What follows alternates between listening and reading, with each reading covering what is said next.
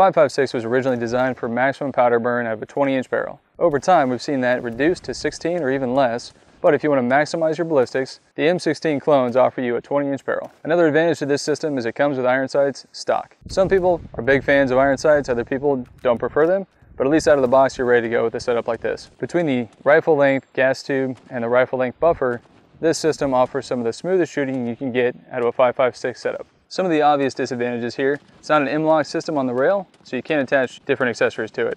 Also, your buttstock is fixed, so you can't adjust that based on the size of the shooter, and you can't fold it. So let us know in the comments if you like this nostalgic setup, or if you prefer the more modern M4 configuration.